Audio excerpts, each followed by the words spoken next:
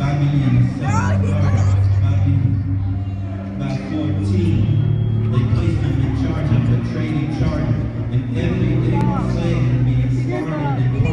Away. For she managed to struggle and kept her guard up inside. Of her garment.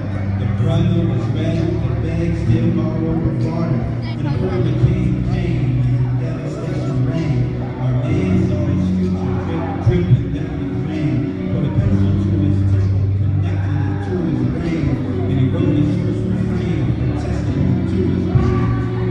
Amen.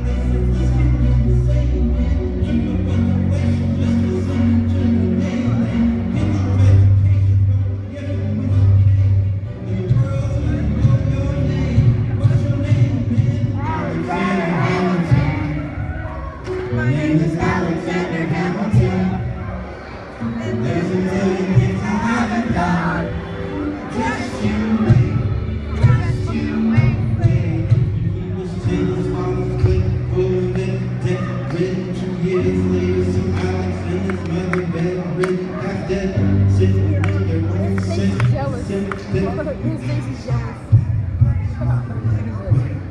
Moving with his cousin,